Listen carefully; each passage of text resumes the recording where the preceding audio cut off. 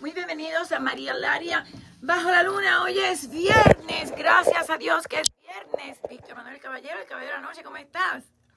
Aquí la verdad que se pasa muy bien con todos mis compañeros, Humberto, Samuel, Freddy, Enrique. Bueno, hoy me mandaron flores. Miren qué lindas las flores. Miren qué cosa más bella. Pero no sé si son de Quique o son de Kuwait. Ok. Eh, Samuel, las flores son. Ah, mira Samuel, espérate. Yo dije Humberto, Samuel, ahí está Humberto, Freddy, aquí están todos. El único que ya se fue. La verdad que se pasa muy bien aquí con todos ellos. Me quieren mucho, los quiero yo mucho y me ayudan a pasar días difíciles.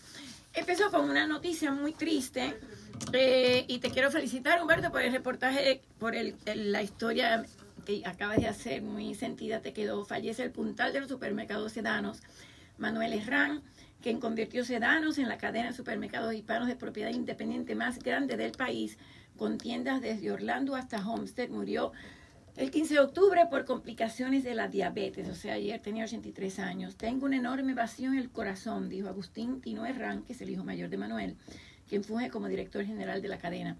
Manuel Agustín Herrán llegó de Cuba a Miami como inmigrante, ofreciéndoles a generaciones de cubanos una muestra de su país perdido hace mucho tiempo, pero él mismo no era cubano. Herrán prefería pasar sus días en las tiendas, hablando con sus clientes y almacenistas, incluso cuando era presidente de la empresa. El día antes de que abriera su tienda más nueva en Jayalía, le pidió al personal que reorganizara un pasillo completo sin siquiera decirle a su hijo, el director ejecutivo.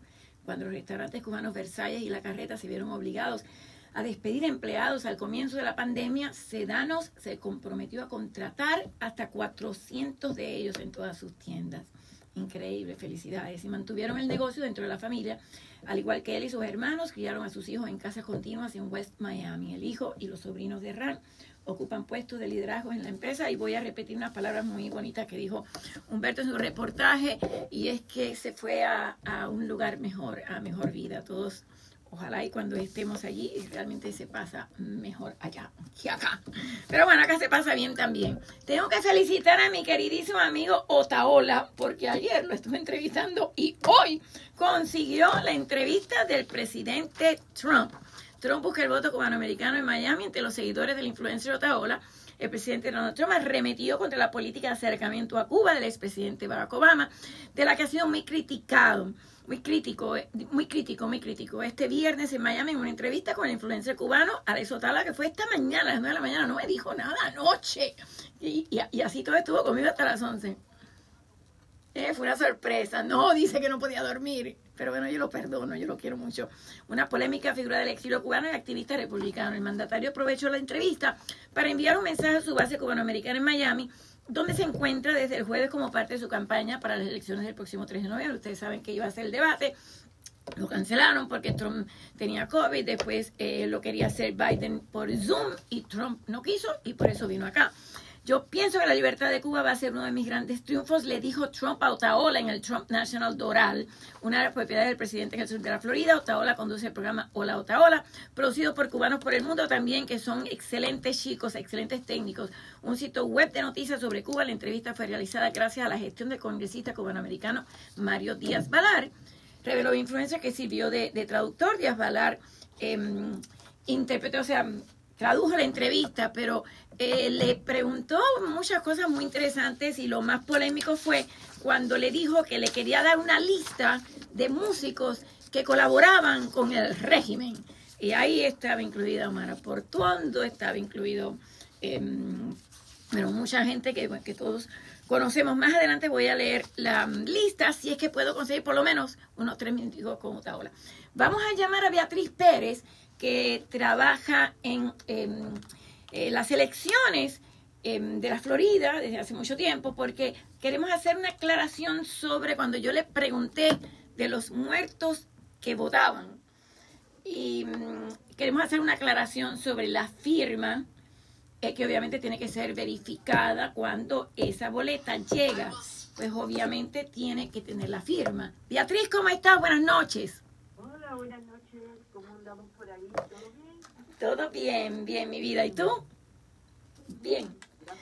A ver, queríamos hacer una aclaración y es, cuando yo te pregunté sobre los muertos que votan, así fue que yo hice la pregunta, em, después en, en parte de la entrevista tú le estabas hablando a un radio oyente que decía que se llamaba igual que dos otros eh, de otras personas y tú hablaste que la firma es lo que lo corrobora. Entonces, una persona que ya está muerta, obviamente, si alguien manda esa boleta fraudulentamente, cuando llega, obviamente la firma no va a estar, ¿no? Bueno, a no ser que la imiten, tú sabes cómo es esto. Claro. Es una gran preocupación en lo que es la cantidad de fallecidos que han tenido, hemos tenido este año. Claro. No tengo, no tengo variante, este, update de, de toda esa lista. Pero de todas formas, en el caso de que haya una o dos o tres personas con el mismo apellido, que eso es muy lógico, y entre los hispanos también, va a definirlo siempre la fecha de nacimiento. Acuérdate que vas a pasar la licencia de conducción en la, en la máquina primera.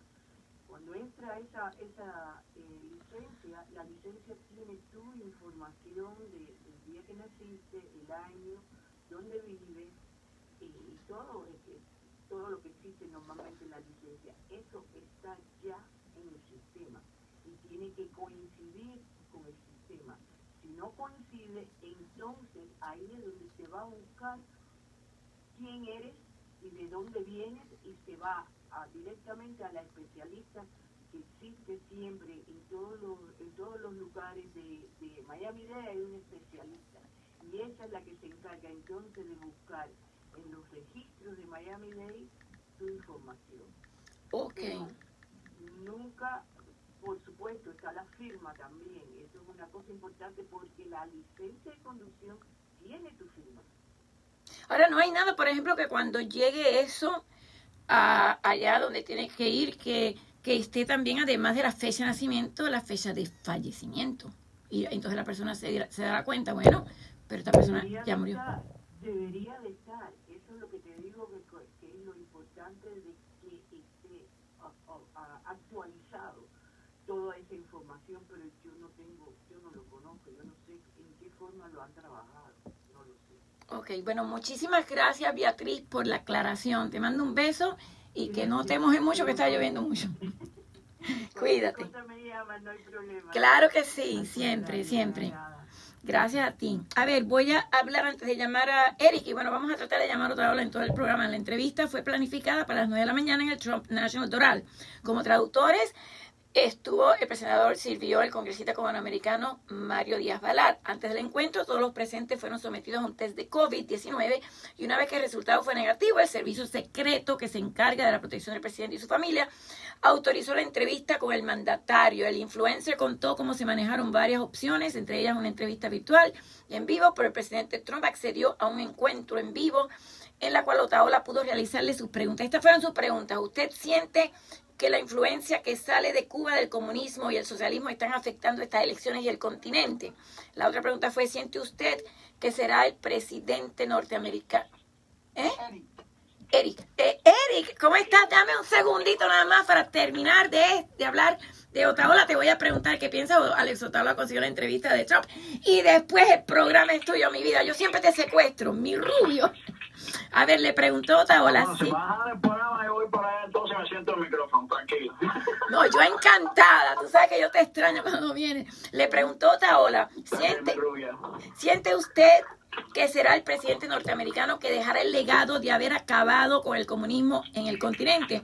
Le preguntó qué mensaje le envía usted a los cubanoamericanos y los latinos en estas elecciones. Pero el momento más polémico fue cuando él le pidió Otaola directamente al presidente enviarle una lista de los artistas que le servían a la dictadura y su revisión para retirarle la visa de entrada al país. Y ahí respondió el presidente de forma afirmativa, indicando que se le enviaría al congresista Mario Díaz Valar. Y más adelante voy a leer toda la lista de todas esas personas que, bueno, todos conocemos que sirven a la dictadura. Uno de Alexander Abreu, bueno, Mara Porcondo, muchos más. ¿Cómo estás, Eric? ¿Cómo estamos, mi rubia? Te secuestro siempre los viernes en la noche. A ver, ¿qué piensas de que Trump le dio entrevista a Otaola a un influencer? Ese es el poder de los medios de internet hoy día, más que la televisión y la radio. Sí, eh, la situación con los medios de Internet, aunque las personas, muchas personas lo, lo descartan como simplemente decisión de Facebook, decisión de, de Twitter, pero yo sabía que esto iba a parar en una audiencia eh, ante el Comité Judicial del Senado de los Estados Unidos, porque por eso que estamos viendo aquí ya un tipo de, eh, de represión por parte de estos medios. Estamos, estamos viendo ya a Facebook y a Twitter reprimiendo la primera enmienda de expresión usando una acumulación de, de poder corporativo monopolizado sobre la información pública que las personas no se imaginan. Entonces, cuando vemos dos entidades como Twitter y Facebook que esencialmente dominan, dominan la información eh, por la Internet, la información electrónica, eh, información en dos sitios en la cual una gran persona ya a nivel mundial revoluciona sus vidas a diario para no solo relaciones personales y sociales en estas dos entidades, sino también que muchas personas también generan dinero con sus negocios utilizando estas páginas. Entonces estamos viendo ya el nivel que han alcanzado estos dos sitios como Facebook y Twitter con el tipo de control de información monopolizada a nivel corporativo que ellos tienen. Y eso es una influencia muy fuerte que no se les puede continuar eh, permitiendo este tipo de actividades. Porque si dijeran, no, Facebook es una entidad única, una entidad donde las personas simplemente se reúnen para eh, eh, relaciones sociales, etcétera, y hay una sola y hay otros medios por los que las personas se puedan comunicar o hablar de política, pero es que esto no es el caso con Facebook y Twitter. Bueno, el caso de Facebook y Twitter es que son dos plataformas informáticas. Censuraron, censuraron los emails de Hunter Biden. Censuraron los emails, Twitter y Facebook. Bueno, mira, eso es otro otro tema muy importante me alegra que lo sacaste a la superficie. Me imaginé que lo ibas a hacer cuando me llamaste, me secuestraste para hoy. pero, pero sí te digo algo, esto otra, otra, otra situación que saca a la luz serias preocupaciones que ya estoy teniendo de los patrones de comportamiento y de encubrimiento que estoy viendo por parte del FBI. Porque esta información donde, donde el hijo de Biden dejó esa, esa pequeña computadora, ese laptop, como le dicen en inglés, fue en una tienda de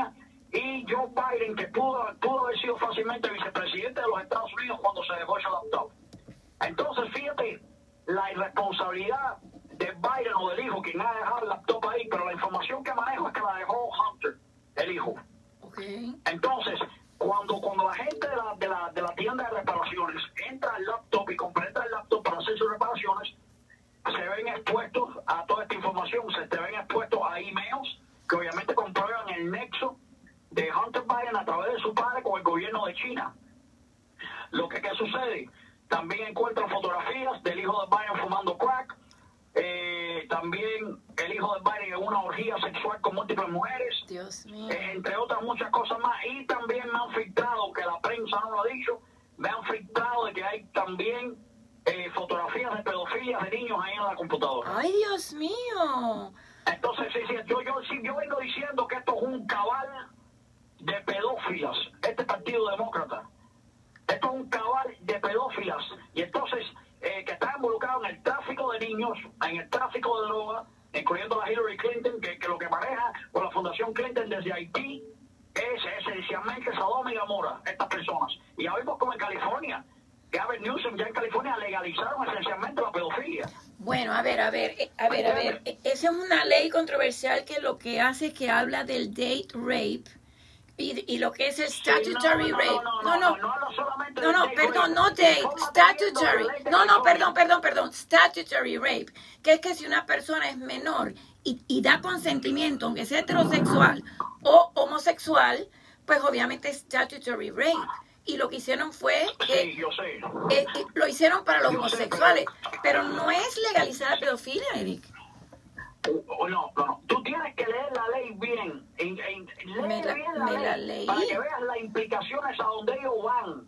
Yo la leí al aire. En California, por eso es que, por eso es que muchas personas tenían mucho problema con esto, muchos padres en California, porque ellos quieren llevar la ley a punto de que si es consensual, que no sea statutory rape. Pero ¿qué es lo que pasa?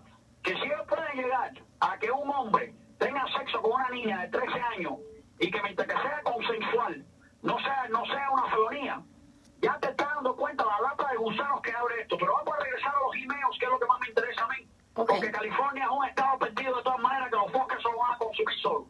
Entonces, los emails estos tenían claras comunicaciones, claras comunicaciones entre Biden y Hunter con respecto a China. Lo que ¿qué sucede, que ellos para encubrir la información en los emails se refieren a China como the big guy. Ah, ya. Cuando ellos hablan en esos emails que, que, que hablan, que la prensa está hablando de big guy, todavía está, entre comillas, en el aire, en cuestión, ¿quién es the big guy? Sí, el big, the big guy puede ser China. Obama, the big guy puede ser otra persona, pero en, mi- en nuestras estimaciones de la comunidad de inteligencia, el big guy se refiere a China, al régimen de China comunista. Entonces, ¿qué sucede aquí? Que cuando el dueño de la tienda completa el laptop para hacer sus reparaciones y encuentra todo esto, ¿qué es lo primero que hace? Y aquí es donde van mis preocupaciones por los patrones de conducta del FBI. Él llama al FBI. Le dice al FBI, mira, tengo un laptop aquí, dejado por esta persona, y hay información ahí que yo creo que es crítica, sensitiva a la seguridad nacional de los Estados Unidos, y no quiero tener este laptop en mi posesión. No quiero tener este laptop en mi posesión, porque esto yo no quiero involucrarme en esto. Y además, los americanos ya, los estadounidenses ya se despiertan más cada día de que las personas que manejan cualquier información sensitiva amanecen suicidados. Es verdad. Y hay una lista. Mágicamente, que, que me entiende que yo en mi estimación por los Clintons, y lo digo abiertamente, mi estimación es por los Clintons, que son los que tienen los recursos para asesinar a estas personas. Entonces, que cuando el hombre ve la sensitividad de lo que hay en el laptop, ¿qué hace el hombre? Llama al FBI, el FBI le dice que iba a recoger el laptop, pero el FBI pasaron, tan- pasaron semanas y no fue a recoger el laptop. Wow. Entonces ya, como el FBI, señoras y señores, no va a ir a recoger un laptop que te está diciendo una persona coherente, que tiene información que es demasiado sensible para él retener, y que sabe según esos ciudadanos que, que pone hasta su vida en peligro, pero que hace el ciudadano a ver que el FBI no responde, y ya con los patrones de conductas que estamos viendo del FBI, que, que sinceramente me preocupa mucho, sinceramente me están preocupando, me preocupa mucho lo que estoy viendo del FBI. ¿En qué tiempo? ¿Quién era el director del FBI más o menos? ¿Era Comey? ¿En qué, ¿Quién era? en qué tiempo qué? Mira, cuando, cuando ese laptop se dejó ahí, eh, no sé, eso es lo que estamos tratando de averiguar, Ah, quién ok. era el director. Porque si era Ya. No hay, que, no hay que preguntar más nada. Exactamente. Pero ¿qué es lo que sucede? ¿Qué es lo que sucede?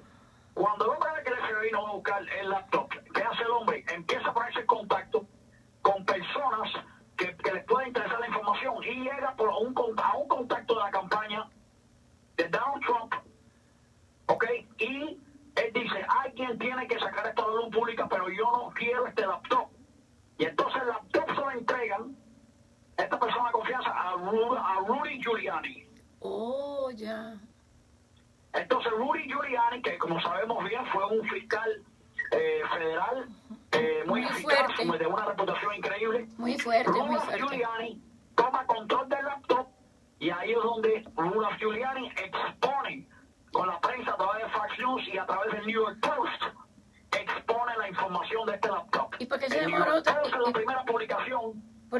demoró tanto en publicarlo?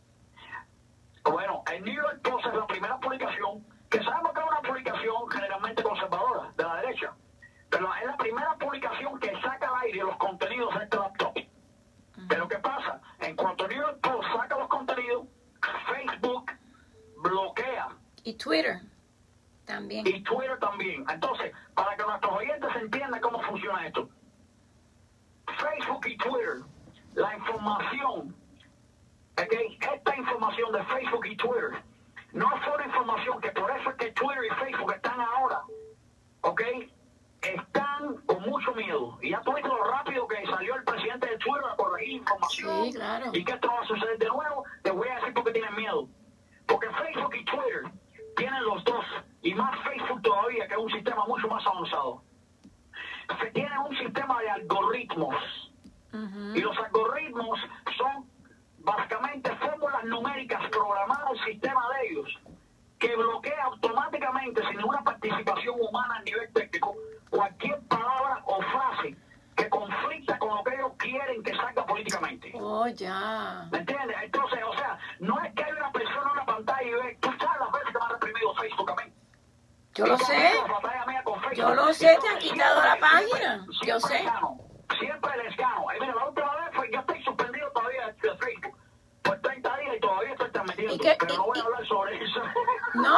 ¿Qué fue lo que dijiste para que te censuran? Yo vi que te habían censurado y después tú peleaste y te la volvieron a no, no poner. hice, no hice absolutamente lo más mínimo que hice. Fue una declaración que hice políticamente de Kamala Harris. Me suspendieron 30 días, pero yo, como tengo capacidad técnica, sigo transmitiendo. A mí me pasa en Es lo único que YouTube. voy a decir. Ok, ok, ¿Ok? Pero, pero, ya sí, yo sigo transmitiendo. ¿Qué fue, qué lo 30 que dijiste? que, ¿Qué fue lo que dijiste de Kamala Harris entre todas las cosas que hay? eh, sinceramente, eh, fue algo que eh, fue un comentario de ella y usó una palabra de ella que no fue la palabra eh, más espléndida del mundo porque tú conoces, tú conoces que yo soy sin filtro. Yo sé. ¿Cuál es la palabra? dijeron que es- no me acuerdo, Mari, sinceramente tendría que Ok, ok. buscarla. Ok, ok, no me acuerdo. Tú sabes la cantidad de información que yo genero. No, yo lo sé, yo lo Y sé. entonces- Yo te y sigo. entonces me pusieron, me, me, me, me suspendieron 30 días, entre otras otras suspensiones que me han hecho, que siempre casi todas las he vencido. Hay otras que me las he buscado yo, tengo que ser sincero, me las he buscado yo, ¿Sí? porque tú sabes que yo soy directo, sin filtro y agresivo. Pero por eso que tienes Entonces, éxito. pero, la, pero la de 30 días me di cuenta que ya ellos estaban tratando de, de- de cerrarme la boca, de reprimirme hasta después de las elecciones. Cuando yo vi que era de 30 días, yo dije, tú sabes qué, ya esta gente me ven a mí como una amenaza y me quieren reprimir, me, tienen, me quieren mantener censurado hasta después de las elecciones. Ay. Dios mío. Porque se están dando de cuenta que yo tengo una influencia sobre la opinión pública. Pues pórtate bien hasta el 3 de noviembre. Y después bueno, síguete como portando mal. siempre, no me reprimen ni me van a reprimir. Yo, yo he dicho siempre que para callarle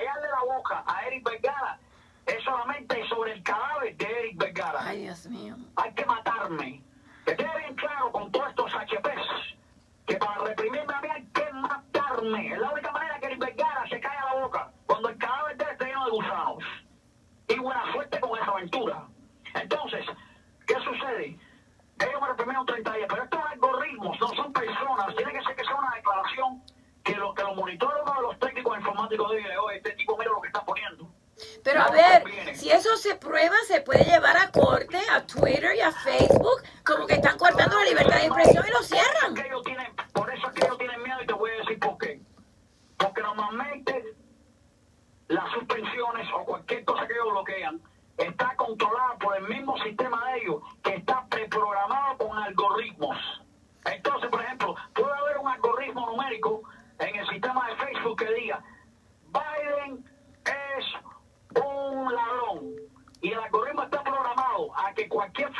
Ay, Dios mío, increíble, Dios Entonces, mío. entonces en, ese, en esos algoritmos son millones y millones y millones de algoritmos preprogramados para que automáticamente sea la persona bloqueada y suspendida. Y el sistema determina, de acuerdo al contenido, por qué tiempo es suspendido. Entonces, ¿qué sucede? Que a mí me han suspendido por cosas mucho peores, solamente siete días. Claro, cuando le he escrito a Facebook, me han restaurado la cuenta. A mí me ha pasado así también. A mí- me ha pasado así, tú apelas y entonces después, pero te, pero te bloquean por un tiempo en lo que ellos analizan eso, ya te bloquearon por dos semanas. Exactamente, exactamente. Pero en la gran parte de los casos, ellos me han eh, bloqueado. Pero creo que sé que ellos a mí ya me tienen un cierto nivel de cautela y cierto nivel de miedo. Y ellos, se- ellos son muy, muy cuidadosos en lo que hacen conmigo porque se dan de cuenta ya que yo soy un enemigo de su causa. Eric, dame un segundito. pro- promover el socialismo. Eric Vergara, dame un segundito nada más que tengo que pasar un comercial. ¿A ti te gusta dormir? ¿Que si qué? Que si te gusta dormir. A mí, bueno, cuando tengo sueño. Cuando Yo tienes... tengo tiempo para dormir. ya. Porque tú duermes muy poco. A mí me encanta dormir. Mi pasatiempo preferido es dormir. Yo tengo un sistema de dormir que me lo regaló Felito, en paz descanse, que ya, bueno, murió. Pero Gracie, su hermana, está al frente de Mattress House y es una cama king donde tienes masaje de tres velocidades. Es una cosa espectacular, como si estuvieras en el cielo. Gracie, dinos, ¿qué es ese sistema de dormir? Adelante. Les habla Grace de Mattress House con un aviso importante. Dormir bien es una necesidad para su salud. Visítenos en Mattress House. Recibirá una evaluación esperada y los guiaremos al sistema de dormir adecuado para usted. Más de 25 años sirviendo a nuestra comunidad. Mattress House, 2751 Southwest, 27 Avenida, a una cuadra de la US 1, 305-856-1000.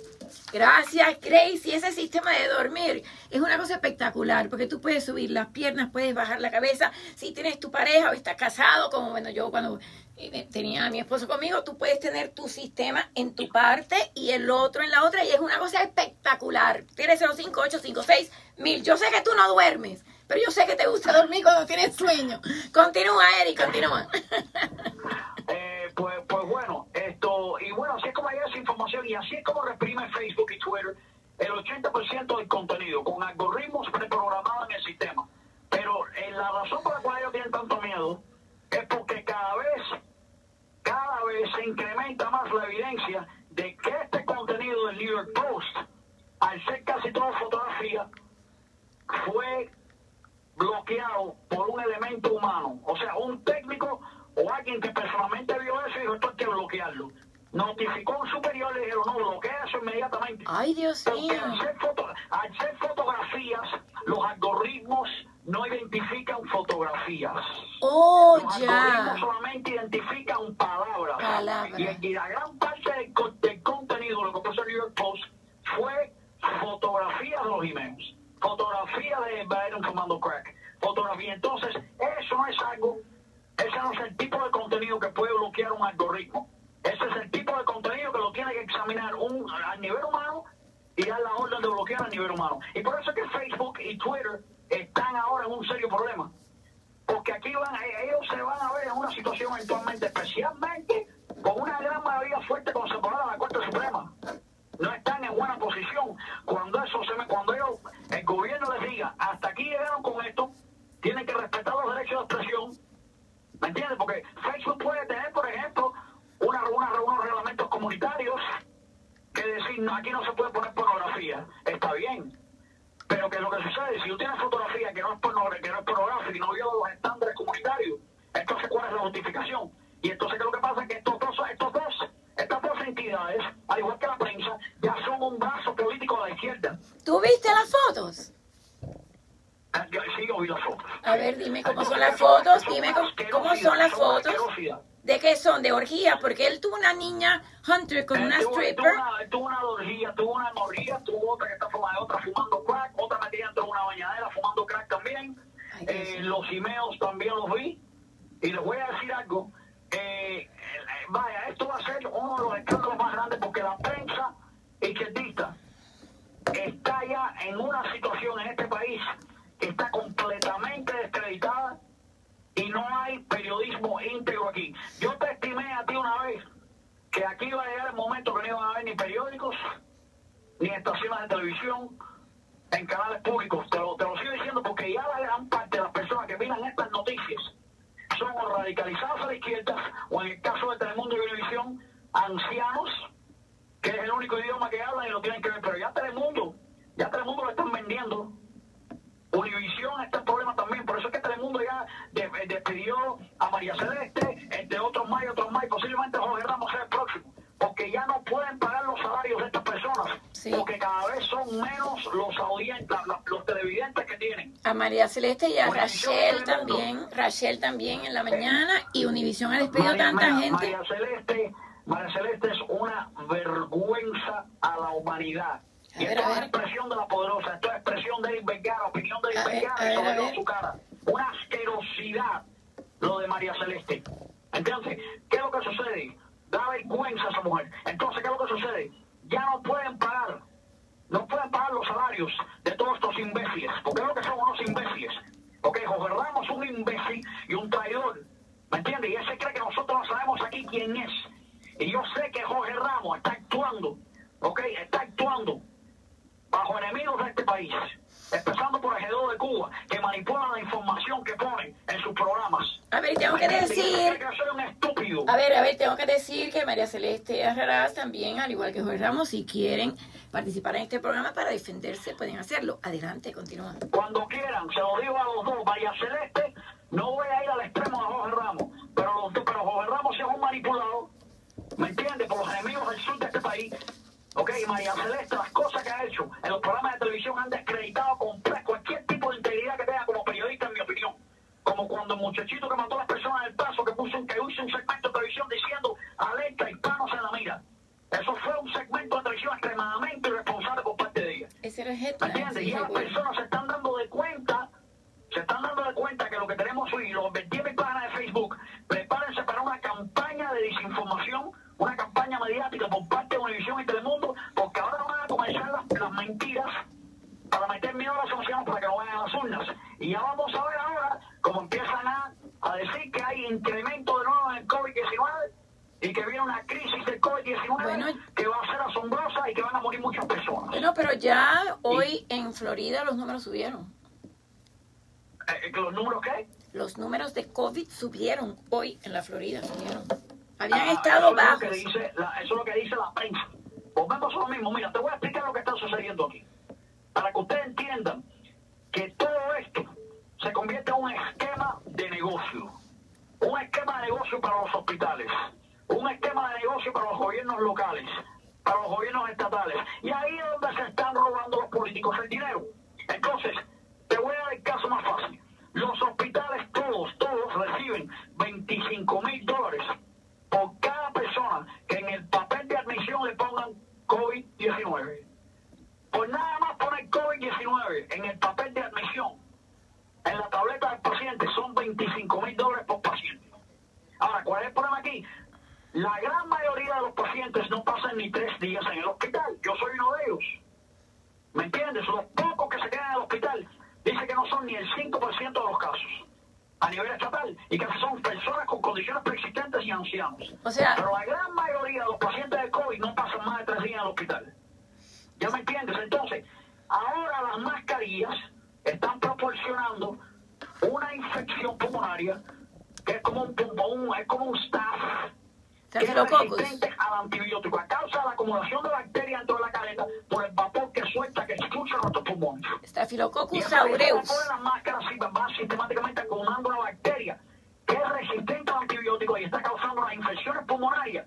Y ahora en cuanto entra una persona al hospital con esa infección, ya automáticamente le ponen el papel Ah, COVID-19. ya, ya, ya. entendí. Ese es el incremento que ellos están demostrando en esas estadísticas. Y ahí es donde está la mentira y la manipulación.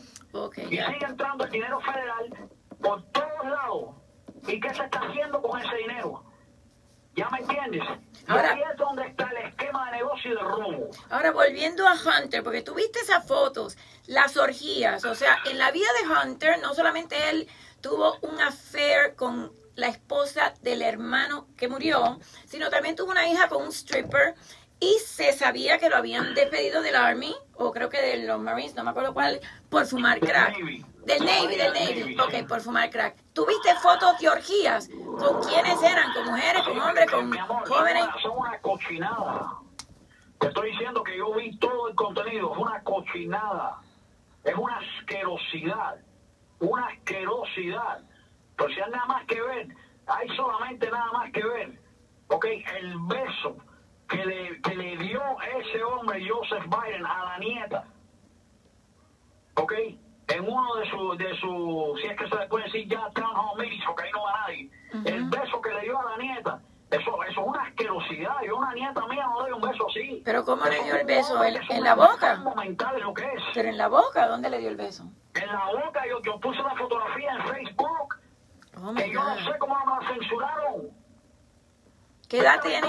Facebook y lo puse en Sí, Facebook donde la- está la prensa izquierdista y las mujeres izquierdistas y el movimiento feminista en no condenar este comportamiento Wow. y salió a la luz que era la nieta.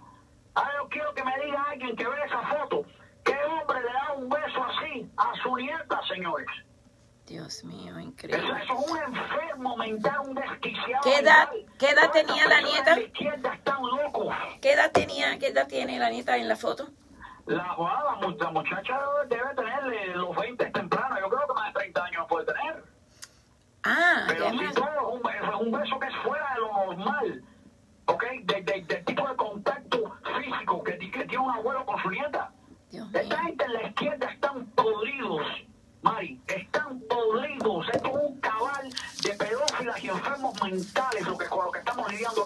por qué no sale algo ya de esa investigación de Durham?